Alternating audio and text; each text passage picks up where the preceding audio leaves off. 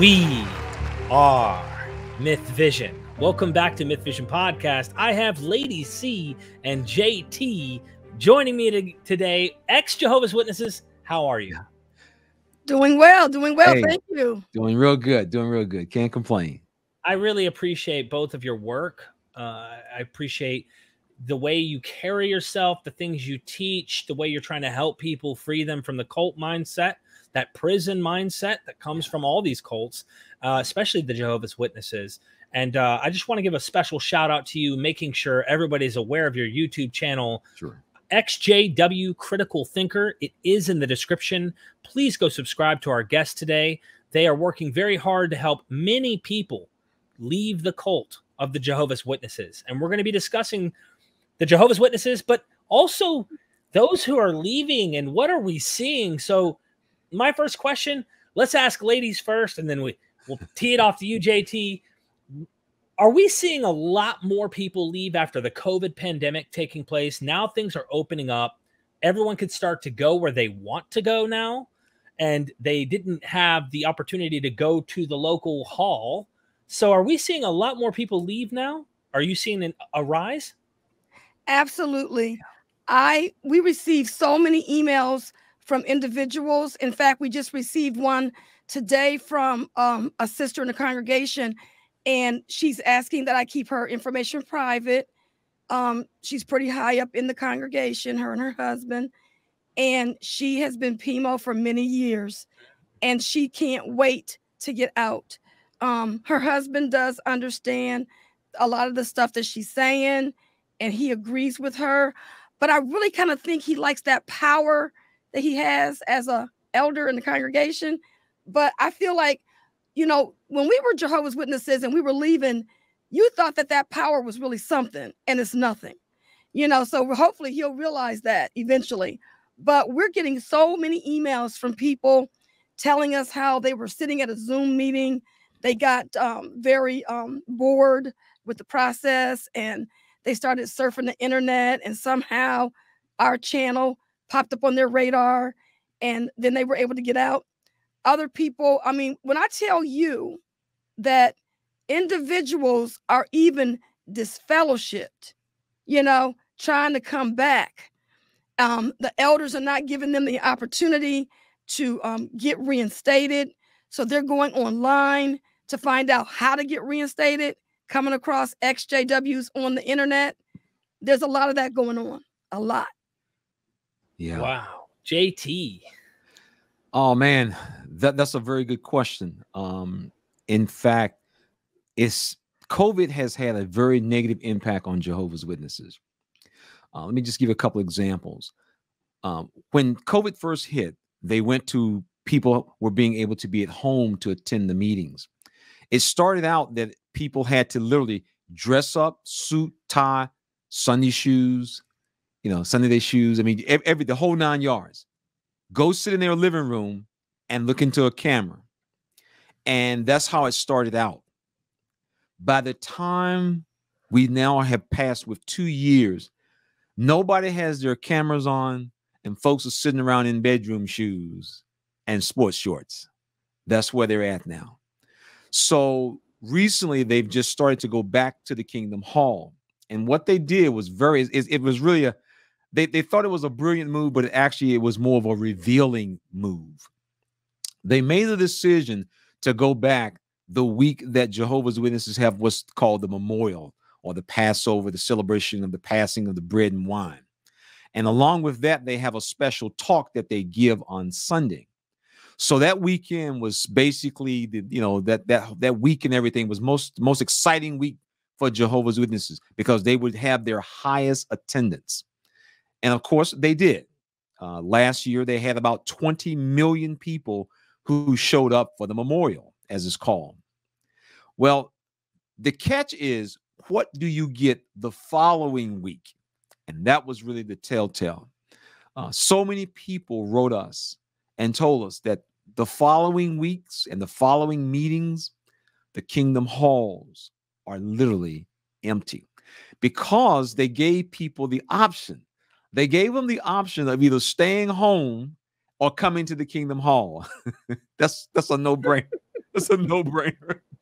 And I mean, we we we've had we talked to someone, we talked to this this older, we talked to this older witness. She said, she said, it's just so nice. I can just stay here in this chair. I can fall asleep, wake up, and, and, and just just and I'm still at the meeting. Oh, oh man. So just to drive home the point of just how bad it has become, they are literally losing men, males in leadership roles. Uh, it was announced that a decision has been made that they will now appoint elders as young as 20 years of age. Um, my wife and I, we did a video on the phrase that is often used when people talk about elders in congregations. They use the term older men. That is a well known, established word, older men. And now they have taken that word. When I was coming along, you had to be almost about 30 years old to be considered an elder in many congregations. Now, as young as 20 years of age. So now you have a 20 year old who's now going to go counsel a couple having marital problems and they're 44 or 45 years old.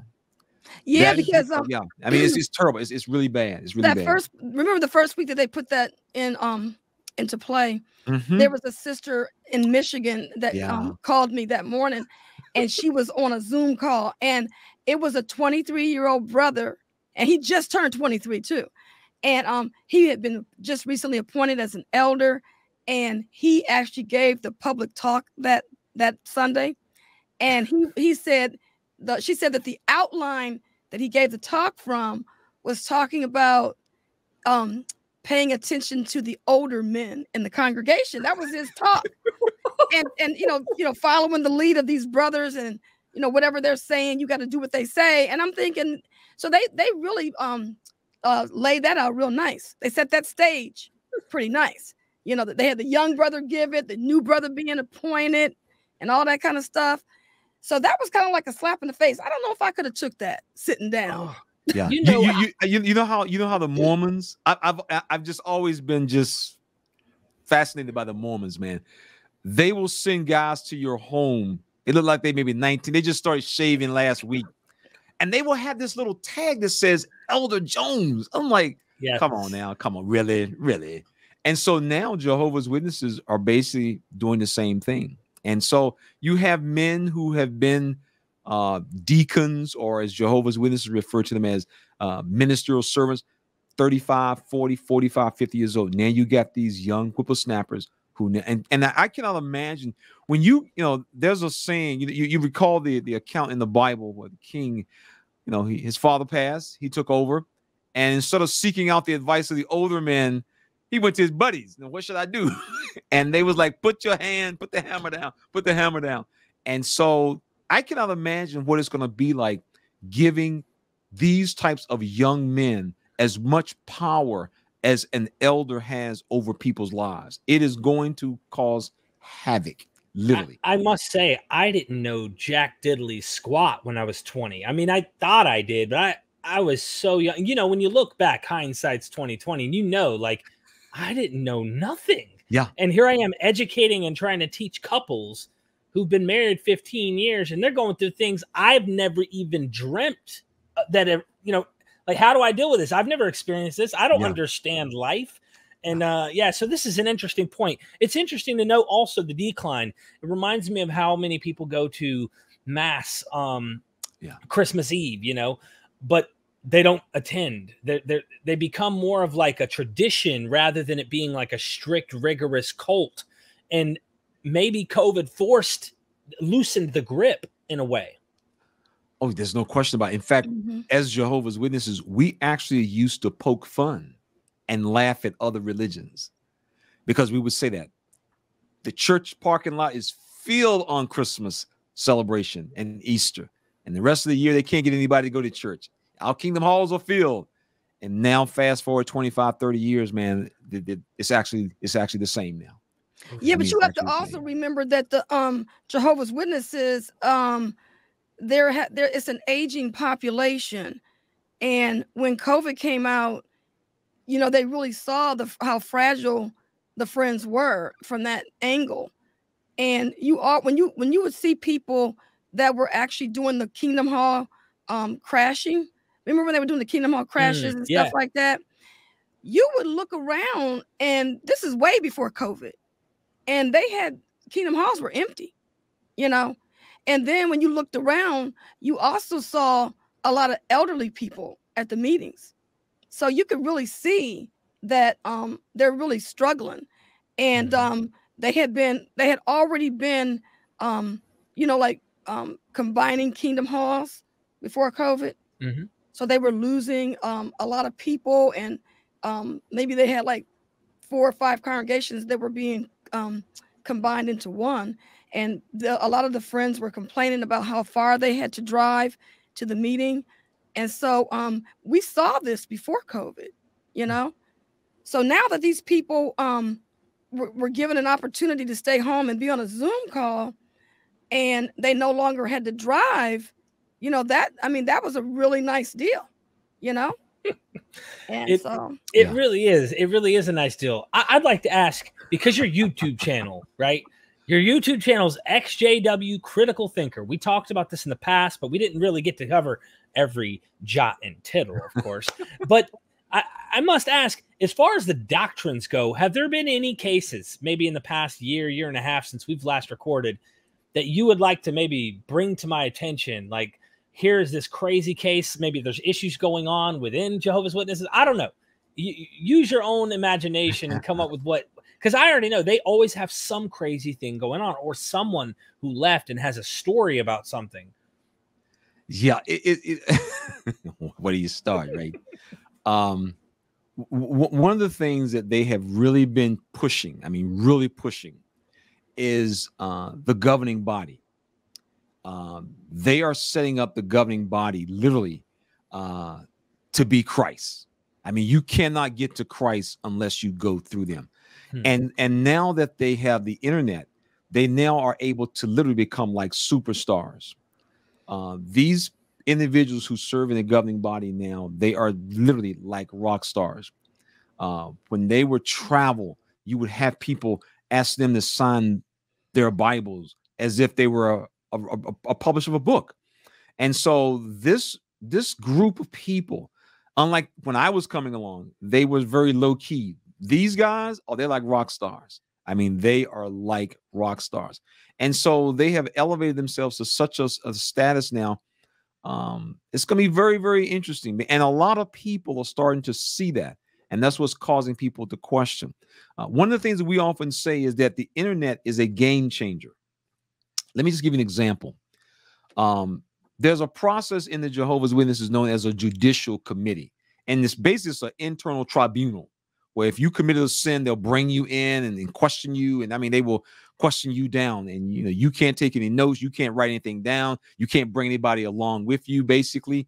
Um, whereas on the other side of the table, they just write, they just write, and they'll use each other's questions that they ask one another to you. The next guy will form his questions based on the last question. And so many times people can't think that they make they get confused and, and, and they, they they give the wrong answer. And of course, they're basically trying to catch you in a lie. Well, what's happening is a lot of people are starting to videotape their judicial committee case and they're posting it to the internet. And just recently, a circuit overseer in meeting with some elders, they mentioned that that people are coming into these judicial meetings, brothers, and they're videotaping and they're putting up on the internet.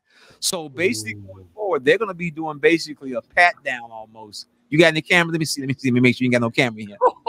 So- and so this is the type of and see and so I tell people all the time, this is the type. These are the type of things that you need to stop and ask yourself the question. Well, hold on. Wait, what, what, what is this? What is this telling me? If you want to know if whether or not this is a high control group or a cult, these are the type of questions you need to ask when you see this type of behavior, because these are the things that only high control groups would do to a person.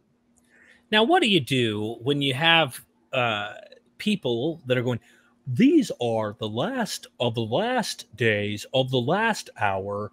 I mean, you know, this elder guy, whatever his name is, he's like, and we are in the final part of the final part of the last hour. And I always like to mock his how he presents because I hear he's not really like that in real life.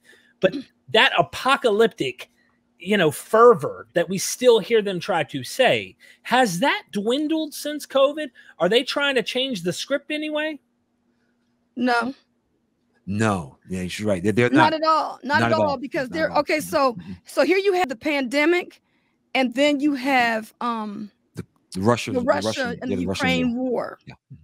And so um they're really having fun with that one, Mhm. you know. And then to intertwine with what JT was saying earlier, I'd like to say that one of the things that we've been noticing as well is um individuals have been telling us about how they feel um they, they've been waking up too because the watchtower was saying you need to believe or listen to what we say even if it doesn't sound right so it's like blind faith it's like you know you're you're leading this group of people we're going to tell you what to do how to do it and don't question us.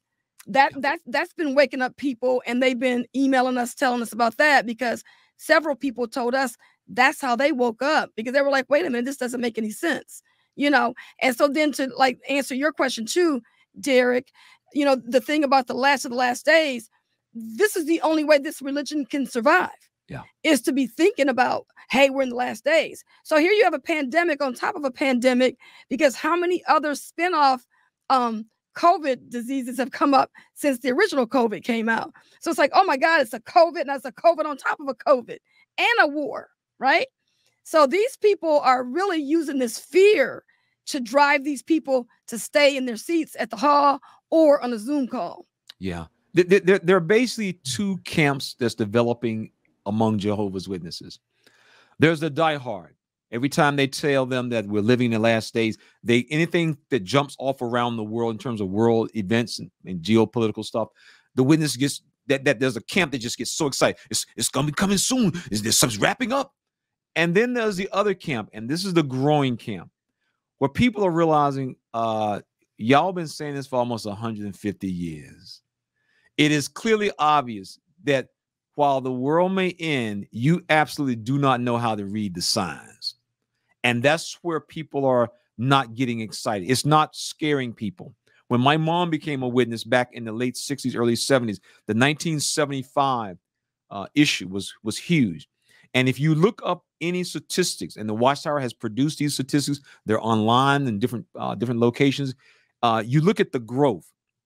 Jehovah's Witnesses had the most explosive growth that this organization has ever had leading up to 1975.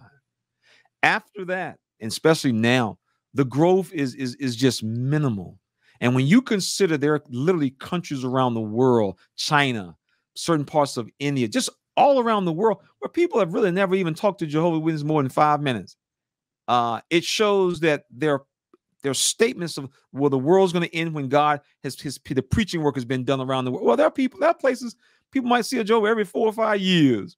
And so all of a sudden they have witnesses who are in other countries going around every day. I mean, I, I remember when I was in New York, uh, when I was in the congregation I was assigned to, we literally knocked on the same doors every weekend, which means the people in New York City were, were getting the opportunity to learn about Christ every weekend. And somebody over in over in over in India, they might learn about Christ every four or five years when a witness might swing through the town. So how is God going to bring the world to the end with, with with with such an unbalance of people having opportunities? And and so the message that the witnesses give, it simply doesn't have the weight. And the problem is is the internet. You Mm. can check anything now. Is that the number one enemy of the Jehovah's Witnesses at this point? The internet. Yeah, I mean, Mhm. for, for any high control group or cult, the inability to control the flow of information is the worst thing that can happen to them. That's why they have to shut you down. Every Jehovah's Witness knows you can ask all the questions you want. You just can't question the answers after they gave it to you. And so it shuts people down. If you start asking too many questions, folks start looking out, out the corner of their eye. Because every witness knows there are certain questions you just cannot ask and be able to maintain your standing. And we used to tell people all the time, okay, now, brother, you know, I, you, you've been given the answer. You know, go, go sit down and wait on God now. And for most people today, they realize they ain't no answer, man. You just know what you're talking about. Yeah, they ain't no real answer. You just know what you're talking about. Did And- you want to add to that, Lady Cee? well i was going to mention um you know, when I tell you I we get so many emails, we get a lot, and I've talked to quite a few people. One of the things I'd like to say is about this COVID shot. Um, a lot of the Jehovah's Witnesses are starting to like there's there's two different camps in the Jehovah's Witness religion right now. There's the people who are getting shots, and there's people that's not getting shots. And I was talking to um actually two people this past week that was that was their wake up call moment because they felt like the watchtower was trying to get them to get the shot and they don't like that they don't like the organization telling them what to do so this this one brother said in his congregation it's like the haves and the have nots and he said that the brothers in the congregation are telling people if you don't have the shot you can't go and and um gather with these brothers over here. So he said it's a pretty bad thing that's happening right now in the organization hmm. with the shot. And so we also had a friend of ours tell us, I want to say upwards of maybe 600 elders have been removed because they were talking against the shot. And so it was like the, the Watchtower Society is really losing its grip on its members because there are people that are not standing on their side. And it so is kind of weird. Mm-hmm. It, it, it is weird to me personally, right? So, mm-hmm. so me as someone who's a big fan of science and, and and learning like about the advancements of things that might help us and these whatever, um, you would think like they're very conspiracy minded based on the Bible. You would think the organization would be like against this you know drug that's being produced and whatnot and they would think this is part of the end of the world right? Like like it's kind of weird like they can't make their minds up on what they need to do here. Well I, I don't know. it, it, it's it's it's not quite like that. This is this is this is the way it works in this religion. As a jehovah's witness if you as an individual have to take the hit for example, you the little four, five, six, seven year old child in school who got to go down to the office and be laughed at and poke fun at because you wouldn't eat the cupcake. Then you have to take that. You have to take that beat down. But if it's the organization that's going to take the hit, the Watchtower has a very interesting way of changing the rules. The Watchtower doesn't take the hit. Uh, the Watchtower came out with the, for example, the in, in, in Australia, the Jehovah's Witnesses came out initially saying, you know, we're not going to be joining this scheme of, of y'all, other churches. We're not, you know, we're not doing that. And then all of a sudden, it was mentioned that we're going to take our tax exempt status. Okay, hold up, hold up, wait, wait, wait. Uh, how much we need to pay for this thing? And so all of a sudden they change. The same thing happened in the oh. yeah, the same thing happened in the country of Bulgaria. And so the Watchtower does not want to risk its status. So all of a sudden they make their members take their stand for the truth, the watchtower can change overnight if it's going to cost them something. They have no problem revising the rules if they are going to take the hit. I'd like to play a little game with both of you if we can before we go. Uh, this is this is I think this is a great thought experiment, and I know the kind of down to earth people that you are. It's probably subjective on your response to these, but because you've had probably more than what I'm going to ask for numbers here. What would you say are the top three or five? I'll give you three to five. If you can come up with five, cool. But at least we can come up with three. The top three to five reasons people are leaving the Jehovah's Witness, the whole cult, okay, that you can think of, whatever order you want to bring them up as is fine. Um, three to five reasons, and you know, we'll go like you you can both tackle the same issue too. So you might start talking about it, and then Lady Cee has an idea on it, or, or vice versa. It doesn't matter. Top Lady three Lady to five. C, you want you want to give you want to give one? Well, I would be willing to say that they're tired. Yeah. I mean, when we were going and we left over 20 years ago, and I was just tired. I remember walking in into our apartment one day, and I just said to myself, I don't think I could keep doing this. I'm just tired. Can you imagine if I was still there, walking around blocks, knocking on doors, looking for um, uh, 9/11 happened, all these other things that's happened up until the pandemic, and thinking the end's gonna come, seeing all your family getting older and dying, and all the friends in the congregation, they're thinking they're gonna live through Armageddon, and then all of a sudden you're going to funeral after funeral, nothing's happening, It doesn't seem like life is getting any better. You're you're broke, you're tired, you're poor. You know, people just tired. Yeah, um, that's the bottom line, man. Witnesses are tired. Um, you've been carrying a message to your neighbors. Let, let me give you a perfect example.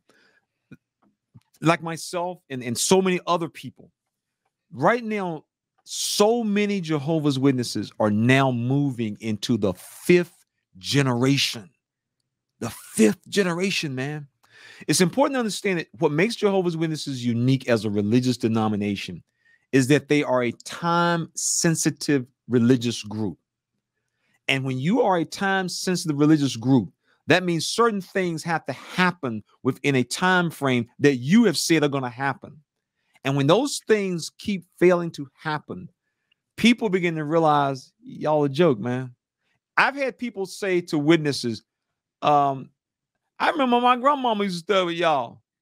My grandmama used to study with y'all. Y'all come to the house and y'all were talking about the world ending. I got grandkids now. And so people begin to realize that. And so the actual individual Jehovah's Witness, he wants to live his life. He wants to enjoy all the normal things. The Watchtower has taught Jehovah's Witnesses that you cannot live a normal life in this system. The Watchtower has stated that you cannot live a normal life. And what's a normal life? Just enjoying the cares of the day. That's really all it is. The witness is on a hamster wheel, man. He's on a merry-go-round that he cannot get off. And people are getting tired of the ride and they're jumping off. Mm-hmm. Um, and that's really, I think that's probably the number one thing is that they're just physically tired. Uh, the second thing is the teachings. You can't teach something as being from God, enforce it by excommunicating, disfellowshipping, cutting people off from their family, their friends, everybody they've known, because you can't have people who are who are your friends who are not Jehovah's Witnesses. You cannot find a Jehovah's Witness who will stand in front of a group of elders and a person stands beside them and they say, This right here is John. He's one of my best friends, known him for 30 years. The first question those elders are going to ask you, So, John, what congregation you go to? Congregation? Uh, congregation? No. Jehovah's Witness can never introduce someone who's not a witness to their other witness as a friend because they'll be in trouble. Jehovah's Witnesses don't have friends. And so they want to just live life. And man, that's one of the things that we are finding. And so they're just running, they're, they're running out of time. And like my wife mentioned, the big thing, man, is they're growing old. You know, I we just my wife and I, we just buried our moms. My mom died in, in December. My wife, her mom died in January. They was witnesses from the 60s. They was they was never supposed to grow old. That's what they told them. They're now laying in their graves. Um, and yep. that's what's happening to witnesses. And so the younger people, like they've seen their fathers be elders and literally die, you know, just just lose their health, trying to keep running for the watchtower, doing this. And, and most of the young guys, they're like, I don't want to do that. I'm not interested in that. And that's why they're running such a shortage of quote unquote qualified men to serve in you know positions. Nobody wants to do that stuff. Right. And so they're they're they're getting tired. The doctrines are falling apart. Yeah, everybody know love your neighbor. You know, don't steal. You know, don't rob your neighbor. Everybody got those teachings, but a lot of the core teachings, a lot of the things that witnesses built their life around, mm-hmm. they see it's not coming to fruition. Yeah, they, like you were saying, um, JT, um, about the doctrines. I want to go back and double click on that. We left because the doctrines. Yeah. Um, yeah. Can you tell us those getting, doctrines again? Yeah, like the, the 1914, um, people were leaving because of that. They were leaving because of the overlapping generation. There were people that were leaving about the uh, child sexual sexual abuse. Um, a lot of people watched the um, Australian yeah. Royal Commission. Uh, some people watched the Leah Remini. You know, all the uh, the the one on oxygen. Um, then there were just people that were just saying that one lady said that she was just getting tired of the JW broadcasting. And she felt like JW broadcasting really brought the Watchtower full front and center stage as to who they were. Because she said it wasn't nothing but a cult. The way they have those uh, dramas, those videos, and they're trying to use it to manipulate you how to how to treat people like at the assembly when they gave the um, illustration of the young girl who was disfellowshipped and she called home and the mother just looked at her phone and didn't answer and a lot of people just got blown away by that. So i mean it's just little things that people are looking at. And it's like one uh, like a group of people over here are looking at this issue different people over there looking at that issue right. and they're just putting the pieces together and they just go on the internet google jehovah's witnesses. And i mean once you do that it's like you're in the ballpark now yeah. So, so this is another question, I guess, in the vein of this, because we could go. I'd like to go into some, just multiple issues that we find mm-hmm. doctrine wise, and uh-huh. and like you talk about this unique generational thing. I don't think that's been emphasized enough. I don't think people watching quite get it. Right? It's that serious. But for people who are leaving the Jehovah's Witnesses, I guess one of the things I would want to bring to the front is they're not making this up in their head Sure, they are to some extent, but they're getting this from the Bible. Okay. So they're reinterpreting, but yeah. sure. My point is, is I I relate to the Jehovah's Witness. I was a young pre-mill dispensational boy who thought the second coming of Jesus was going to happen in his lifetime. I had dreams that the heavens turned to fire, like the whole sky was on fire and it was falling down out of the sky and it was coming toward me. The whole earth was on fire I closed my eyes and said, Jesus, mm-hmm. at the last second. And I opened my eyes, and there's this man with a feathered pen writing in a big old book. And his head's not turned toward me, and he's just writing. And he says, Derek, everything's going to be okay. You're in a better place now. And I felt like I was warm inside of a mother's bosom. That's the only thing I can describe it as, right? This is in my dream. Then I had another dream that lightning bolts were striking, and I was sitting on the front porch watching a storm, and the lightning bolt struck me. And I started getting sucked up and floating up toward heaven, like the rapture. I'm looking around, and there's all these people attached to lightning bolts floating up. And I believed that this was going to happen. My wife had dreams that she was left behind and I was gone. And because I was so serious about this thing. And I was reading the New Testament because the whole New Testament says it's going to happen soon. Yeah, yeah. Except 2,000 years later, a cult develops and says, it's going to happen soon. Yeah. You know, and they just keep the same motto. Yeah. Um, the, the witnesses, they have literally taken words that everybody knows has meaning. Uh, when someone says something, uh, I'll see you very soon, uh, is, is closely upon us. People understand that that is a time frame. And I often ask Jehovah's Witnesses when I talk to them, I says, when you use such words as soon, quickly coming, around the corner. You're talking about time frames, and I'll just pin them down. I'll say, now, as humans, we only have certain types of time frames: seconds, minutes, hours, days, weeks, months. Yeah. Tell me what time frame, according to your denomination, are you working with? Are you talking about weeks, months, years? And at that point, they'll say, "Well, we don't really." I said, "Well, you you you you you can't use the word soon and not have a time frame. Nobody thinks of soon as being 37 years.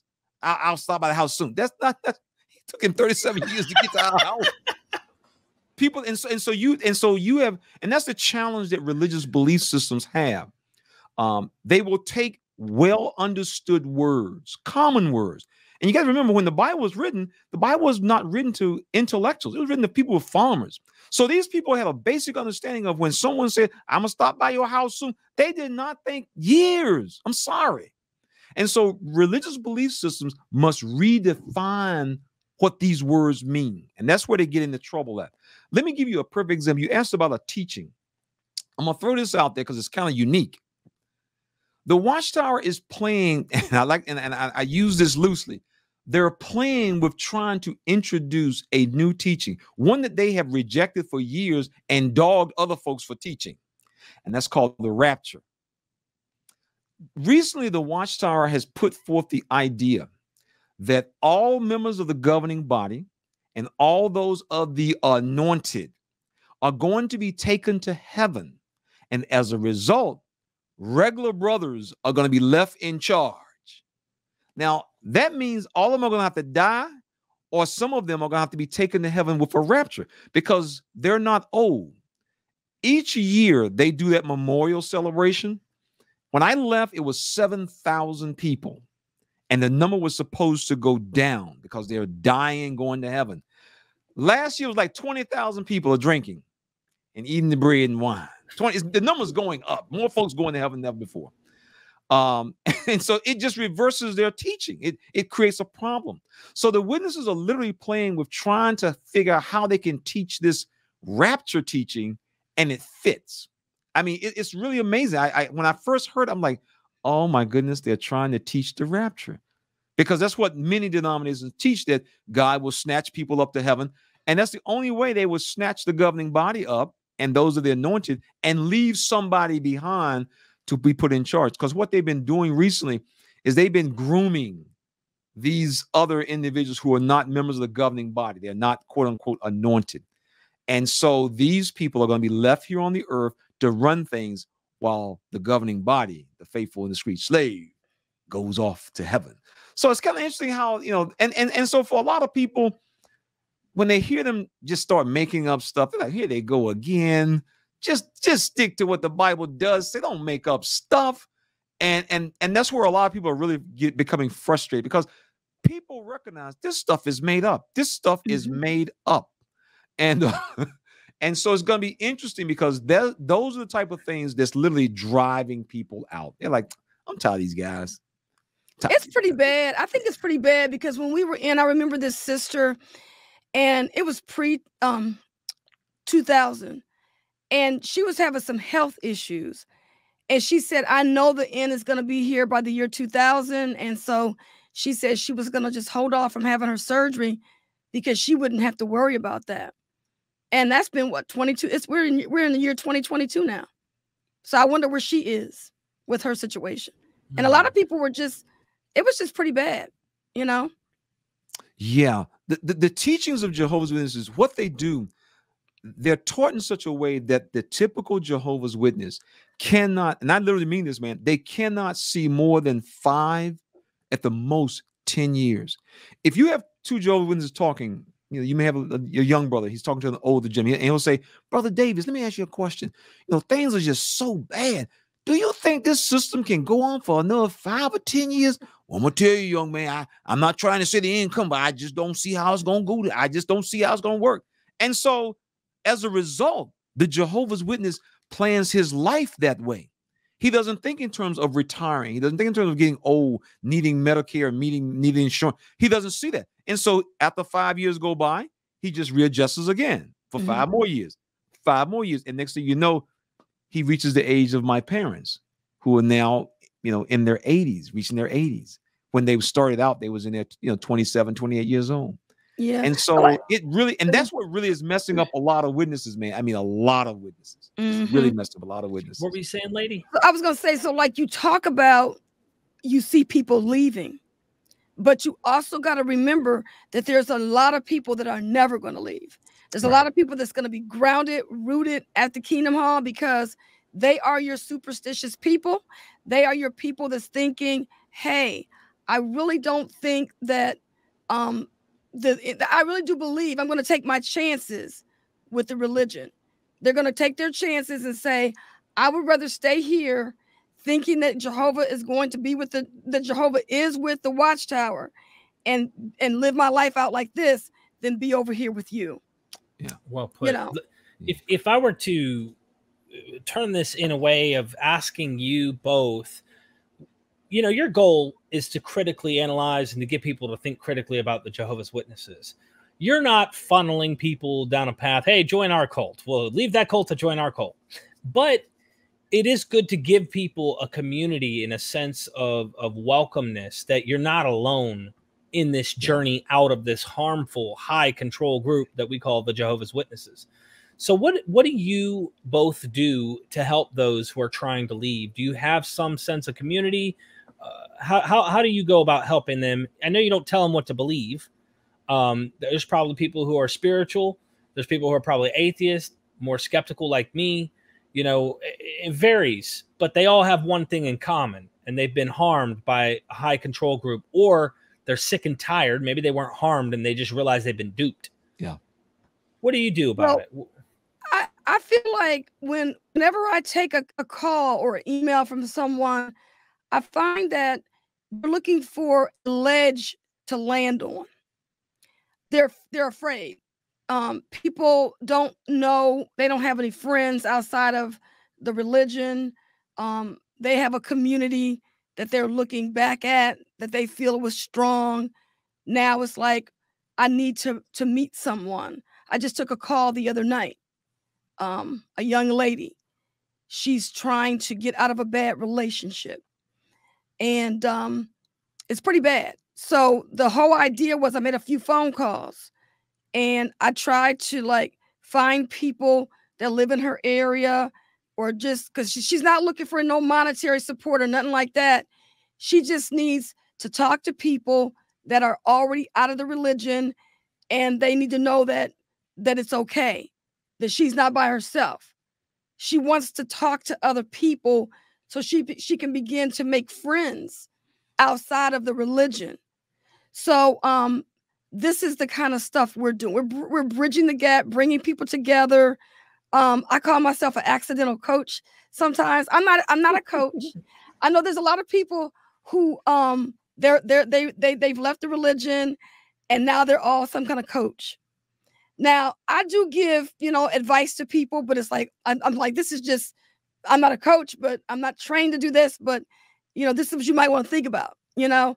No no belief system i'm not trying to give them a belief system. I'm not trying to give them you know a speech about how to live their life but i just give them the tools that they need to survive and a lot of people the tools that they really need is getting a job. Um when i first left the religion i was given the tool of education and then i started saying you know what i when we left the religion I spent a lot of years with my head in a book. So my new tool is not like go to college. I'm not telling people that anymore. I'm telling people try to find a job that you can get that's going to pay you some money that you don't need a college degree.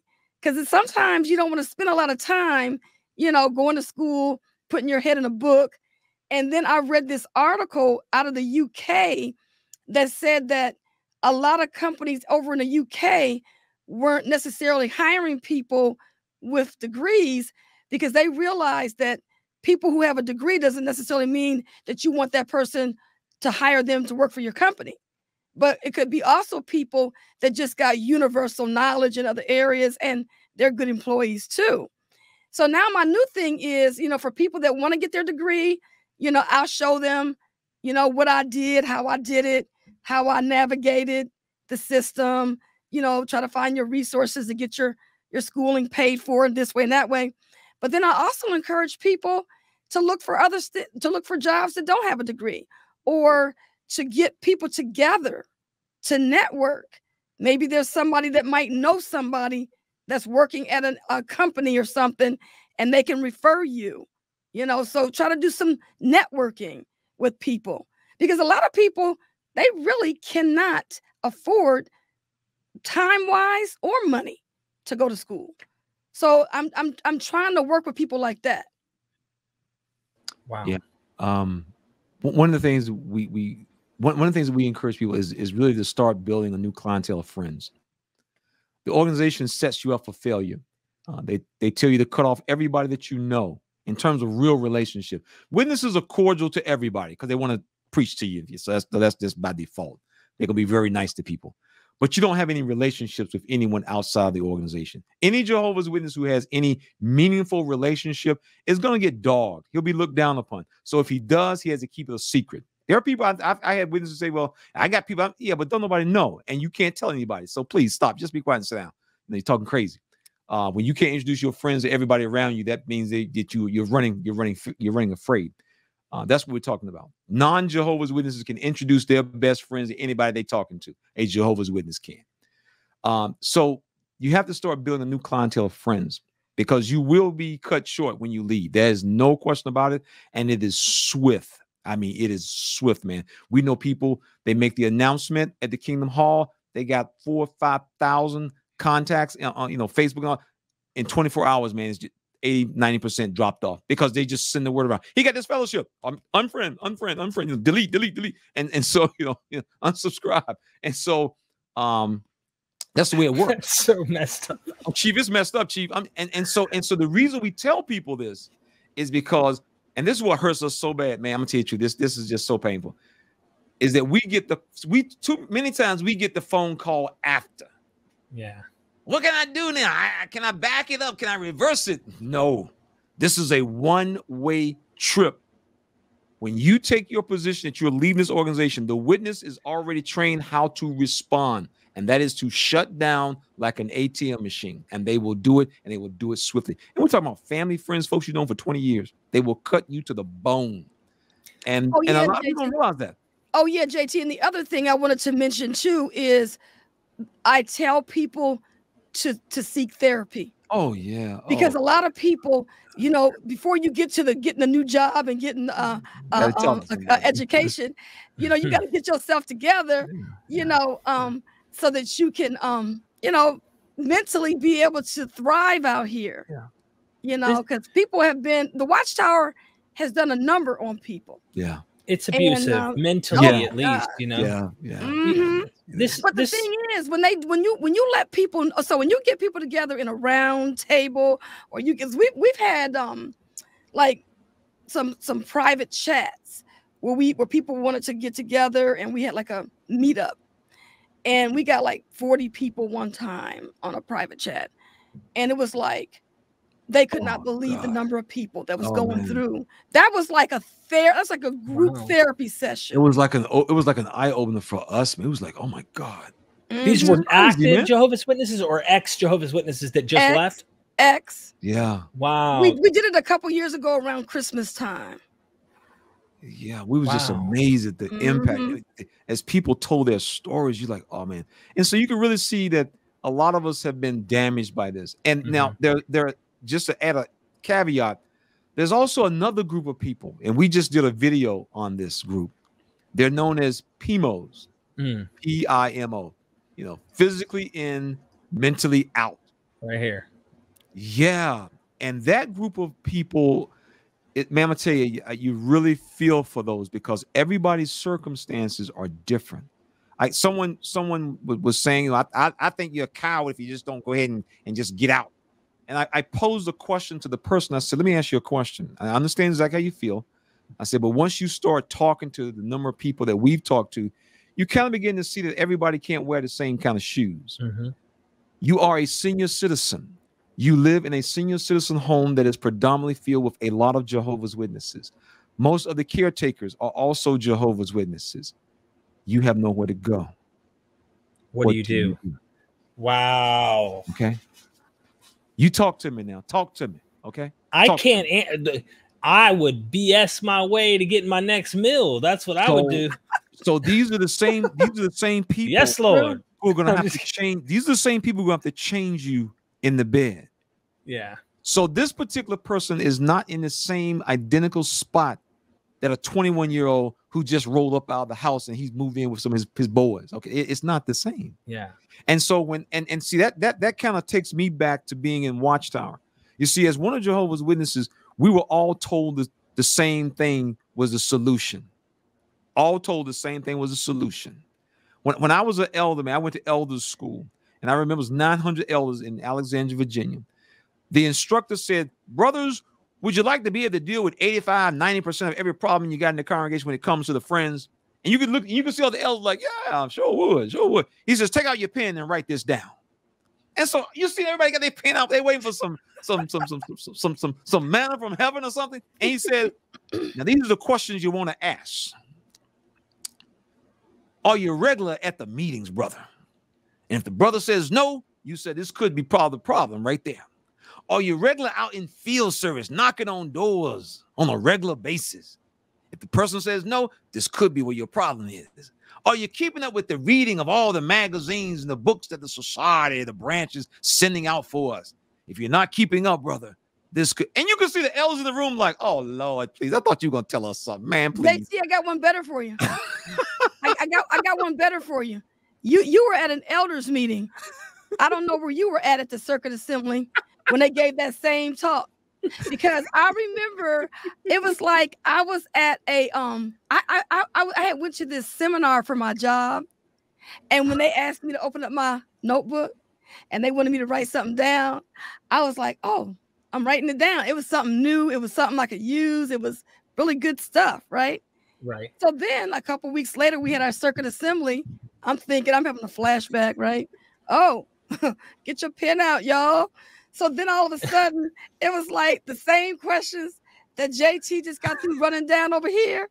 That was the same thing that the brother said from the platform. And I and I forgot to tell that.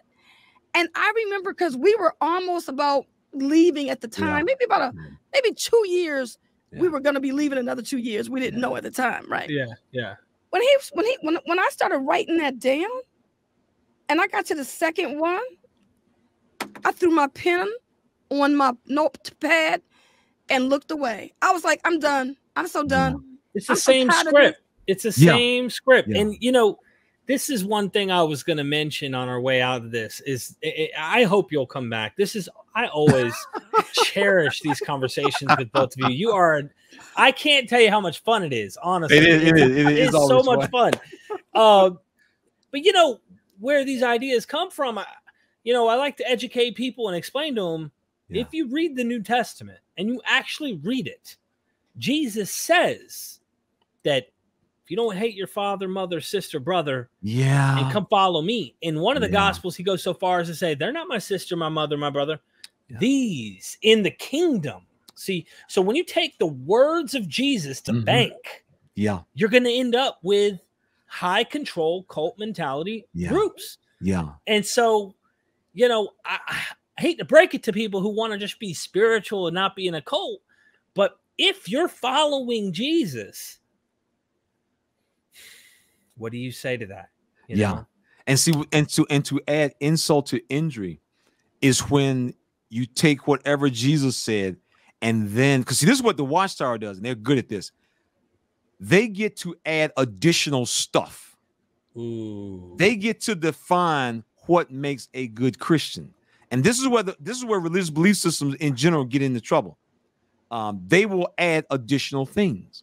For example, we mentioned about counting time, how Jehovah's Witnesses have to write and record the time that they turn in. That's an interesting concept because when when they first started this, so many Jehovah's Witnesses they balked at this. Like, what you make out to report to the church how much time I spend talking to people about God? You crazy. They wrote an article about why you need to turn in your time. And throughout this article, it was called the article was basically on requirements of God. Requirements of God. So once you can convince a person that they and, and the Bible, I like the way the Bible mentions what Paul says, you know, people will deliver you up and kill you, and they think they've done a service to God. There is nothing more dangerous than a man or woman who believes that their actions are sanctioned by God. Because you can get some crazy actions from people and you come up with some crazy teachings when they think and they teach that we got this from God. Therefore, you got to do it. And that's kind of what the Jehovah's Witnesses have done over the years. Um, they have so many teachings that if you look at them in the backyard in the trash pile, you're like, well, y'all said all this stuff was from God. Well, we had to change and that's really the, the whole thing because this this this organization man it literally makes up teachings on the fly. This reminds me of muhammad you know from what one of the stories i heard is he saw i think it was his nephew by marriage or something's wife nude like he got a glimpse of her and was oh like oh she's smoking. So then he had a revelation and he was like you know god told me uh, she's supposed to be mine in marriage so he ends up divorcing the nephew divorces her so he can marry her okay like you start making up crap on yeah. the way and the sad thing is people you know there is no critical thinking none this none. is what you're trying to produce on youtube so if you don't go and do that go subscribe to their youtube channel your brain's gonna rot out all i, know, I can right? say is you gotta go subscribe right now uh, join the cult. No, I'm just kidding.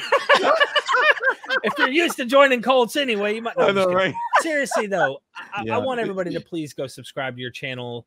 Um, you both are amazing people, and I, I had a blast today. I know there's so much more we could really talk Yeah, we'll do about. it again. We'll do it again. We'll do it again. We, we, we, sooner we- than later. yeah, you know, we tell people, people ask about, you know, people following you and listening.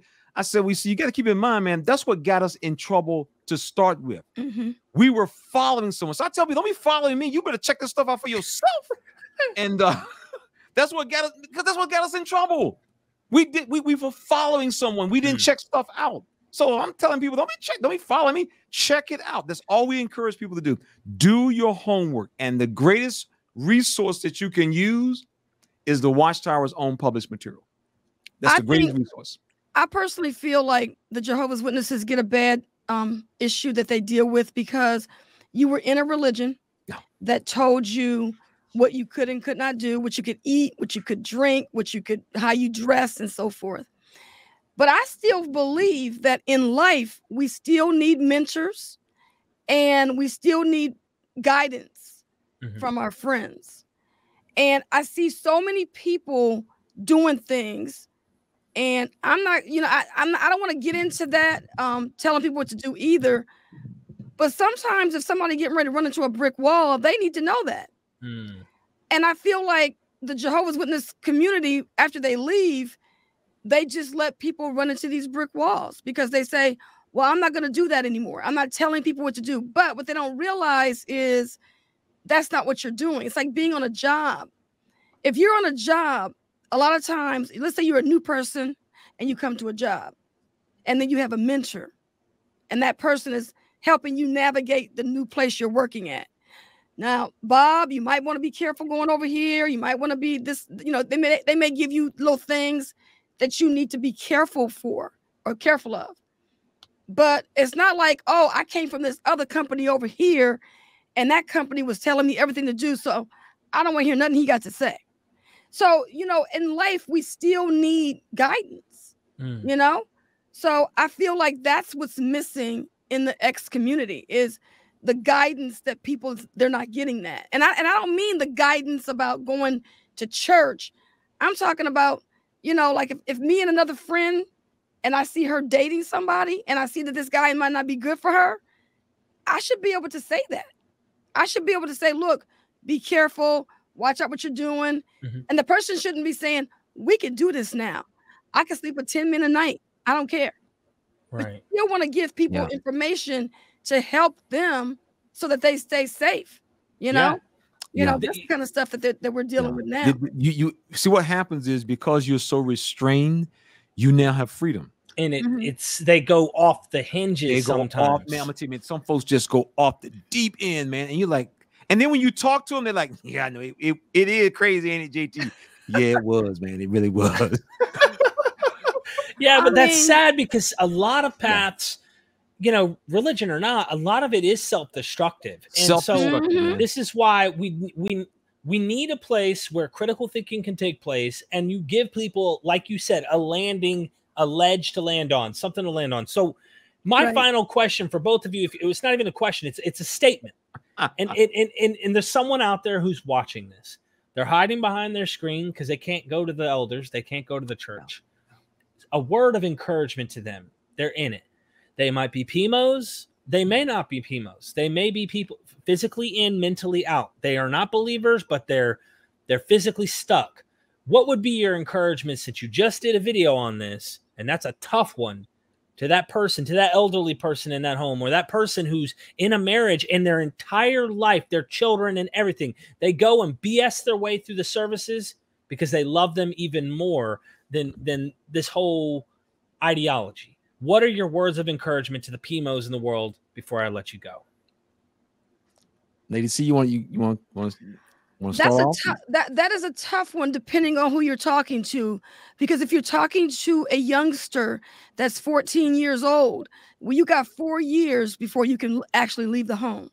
So you can begin to educate yourself go on the internet learn about different um, occupations you might want to get involved in do better in your schooling try to get a degree so you can go to college stuff like that. So the younger person is easy. The older person that's going to be a little bit more work to do. Um, I, I would just say go along with the program that you're in, turn in that field service time, even though you ain't talking to nobody. Don't don't tell people, don't don't try to to push your what you're learning on other people because all it's gonna do is um it's gonna shine the spotlight on you and make it harder for you.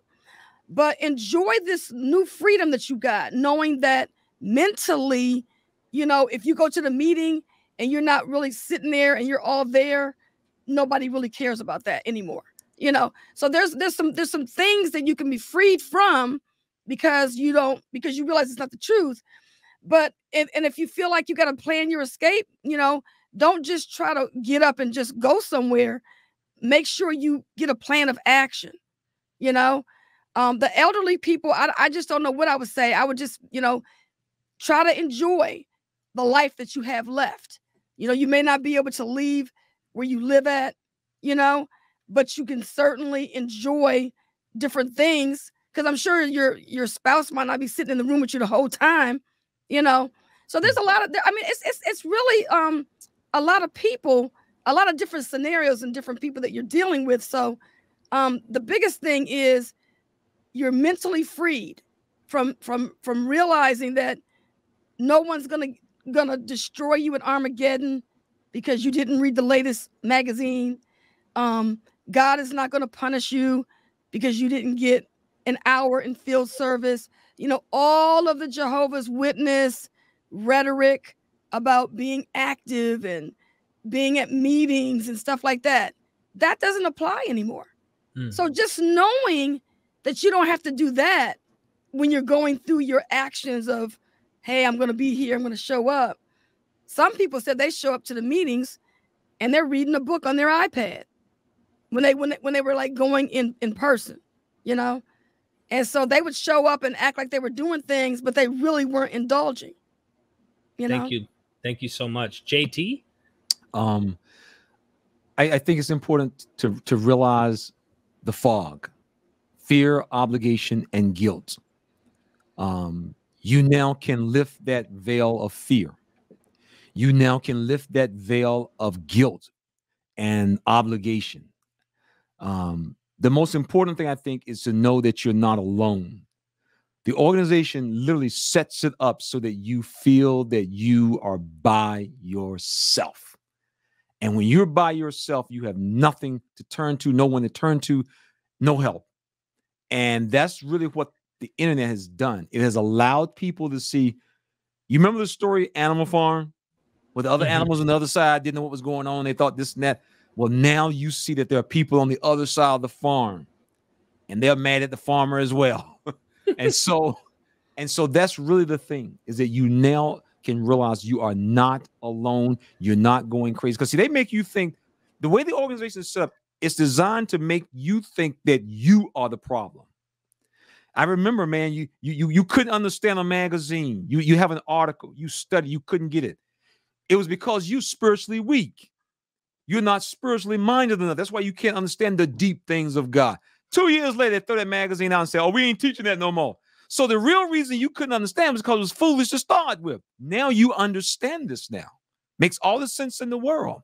And so no longer having to feel that you are alone and like you know Lady Cee mentioned you now can lift these burdens off you even if you physically can't leave mentally you don't have to worry about that. I got two hours this month. Put me down put me down for two hours two magazine and move on. Roll keep it rolling.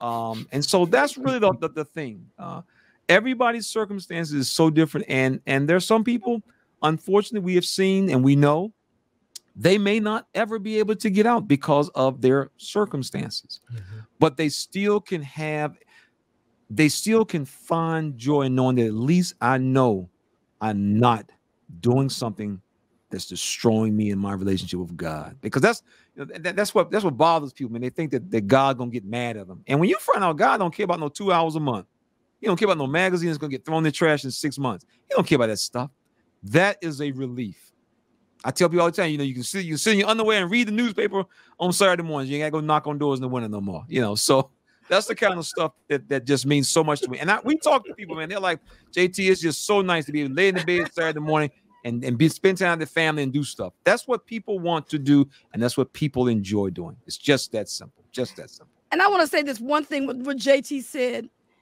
Give them the two hours because I'm hearing this too much. Yeah, I'm just I'm hearing people say I'm PIMO, and the brother called my husband and wanted to know why I had not turned in field service time. The one thing that I have noticed about witnesses is no one is surveilling you to see what door you knocked on. All Right. they want is the time. Just give them the time. Yeah. Give them the two hours. Give And it's so- five hours. Yeah, it's so amazing, man. The elders will not call, and this is what's so amazing. The elders will not call you, Sister Johnson, calls to see how you're doing. You feel okay. They will not call you to check on how you're doing. Right. But when the end of the month come, I need your time, sister. I need you. And it's like you ain't called me all month. You ain't asked about my kids. Nobody. Oh, you want some time? We have had people who have been in the hospital, man, in the hospital, sick, and the elders call. I understand you in the hospital. Can I get your time, sister? But it's worse oh than that. my I talked to god. this brother five years ago, and he said when his grandmother was on her deathbed, That's the one. her that's the death, taking her last breath, That's the, the, elder came in there and Mm. said, "Do you got? Did you Can- report any time?" And he said, No "He said. Yeah, I can't make this up." He said, "I can't make this up." she was drawing her last breath, and the brother came in. How, how much time you got? How much gonna you. You know, We can make sure that it goes into the yearbook. If you just tell me how much time you got, I can make your sure. I can make Ah. sure your time gets counted. you know, this is kind of like I'm using a bad analogy here, but just to give an analogy, it reminds me of when the Roman emperors were killing Christians, you know, for not, or at least they weren't bending to lighting a candle for the Yeah. Roman, you know, we're gonna kill you. Right. I'm gonna light that candle, you know what I'm saying, and then go about my way and just enjoy the rest of my day. I'm not about to get killed because you want to tell me I gotta light a candle. Uh, That, that candle didn't mean nothing. If Paul tells you you can eat whatever and that demons don't mean nothing, and you know, like, come on, like, do you really think he's gonna care? Like, just light Hey, the dang candle, you know what I mean? Hey man, as one as one witness told me, he says, "I'm gonna take my I'm taking my chance. God, He's known to forgive, so I ain't worried about it." It is That's what I'm s- amazing.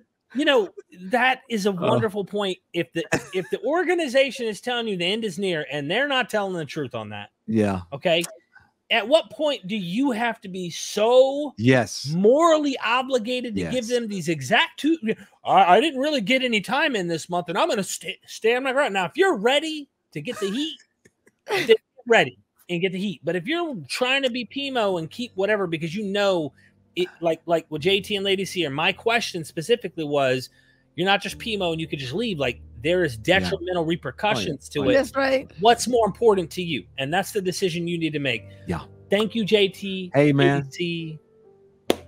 It's Thank always good. Always appreciate good, man. it. We Always appreciate good. being on your program. as Yeah, man. Thanks for inviting us back on. We appreciate Yeah. it. Oh, you, I hope, will come back soon. And I Oh, yeah. mean soon in the real sense.